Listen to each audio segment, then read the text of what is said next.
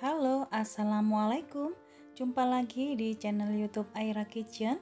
Di video kali ini akan berbagi resep bagaimana cara membuat puding buah susu yang cantik seperti ini. Cocok untuk segala acara. Langsung aja yuk simak videonya hingga selesai dan jangan skip ya. Oke, untuk yang pertama di sini sudah aku siapkan panci kita masukkan 135 gram gula pasir, satu saset agar-agar plain dan satu saset Nutrijel ya moms ya.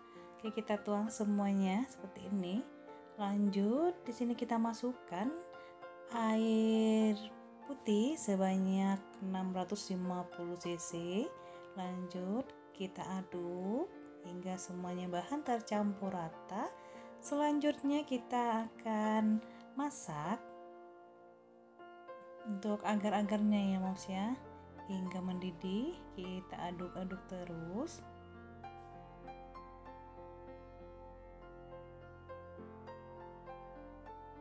Nah ini udah mendidih. Selanjutnya aduk hingga uap panasnya hilang. Dan jangan lupa matikan api kompornya ya. Nah seperti ini.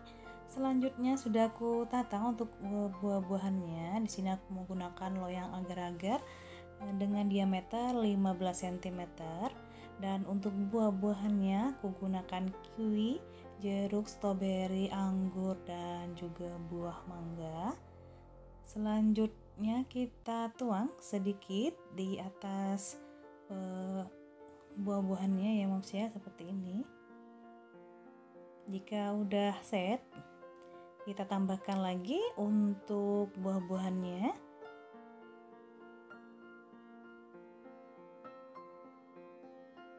selanjutnya kita tuang lagi.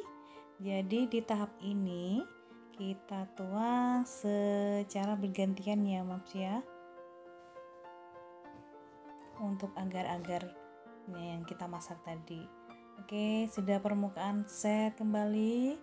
Kita pasang lagi untuk buah-buahannya. Tujuannya di sini agar nanti buah-buahannya merata dan tidak ada yang mengembang ke bagian atas jadi bebannya tersusun rapi ya moms ya. Nah ini udah juga udah set.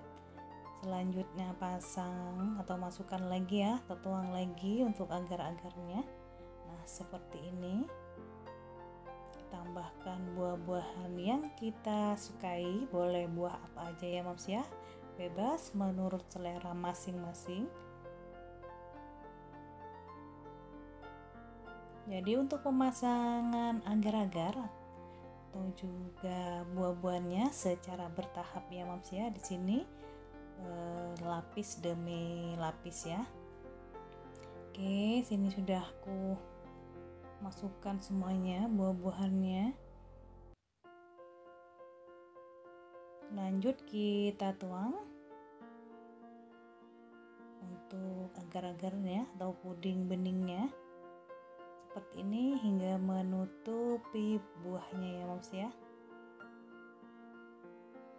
Oke tunggu hingga permukaannya berkulit selanjutnya sisa dari puding bening tadi kita bisa tambahkan e, susu cair maupun SKM moms ya sebanyak untuk SKM sebanyak 2 saset. Nah seperti ini. Kita aduk kemudian lanjut kita masak kembali agar tidak menggumpal. Nah ini udah set. Jangan lupa kita tusuk-tusuk ya moms ya seperti ini. Tujuannya tadi agar saling menempel ya Max ya antara puding bening dan puding susunya ya